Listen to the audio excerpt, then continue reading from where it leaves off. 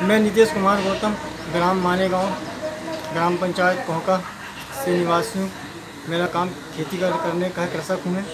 मुझे सम्मान निधि दो हज़ार रुपये की किस्त जो है, जो प्रधानमंत्री जी ने जो डाले हैं, काफ़ी आर्थिक सहायता मिल गई मुझे सम्मान निधि से। इसके लिए मैं आदरणीय हमारे देश के यशस्वी प्रधानमंत्री जी का हृदय से धन्यवाद, आभार व्यक्त करता हूँ।